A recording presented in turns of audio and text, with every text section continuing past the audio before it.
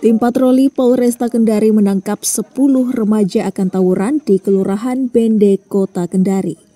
Dari pemeriksaan polisi, 10 remaja yang ditangkap ternyata usai menggelar pesta minuman keras.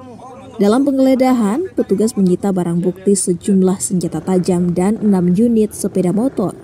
Berdasarkan dari laporan, aksi tawuran antar kelompok sering terjadi di wilayah tersebut dan meresahkan warga sekitar. Jadi ini, uh, kebetulan ada beberapa laporan masyarakat.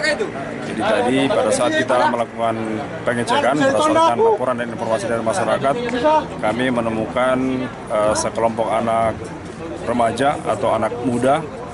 Ya ini apa namanya sepertinya akan melakukan tawuran terbukti pada saat kita melakukan penggeledahan ada ditemukan senjata tajam itu dari plat dari plat dibentuk jadi seperti gergaji modelnya itu ya kemudian eh, kami juga menemukan bekas-bekas minuman ya jadi ini kami amankan ada 10 orang Kawanan remaja ini digiring ke Polresta Kendari untuk pemeriksaan lebih lanjut.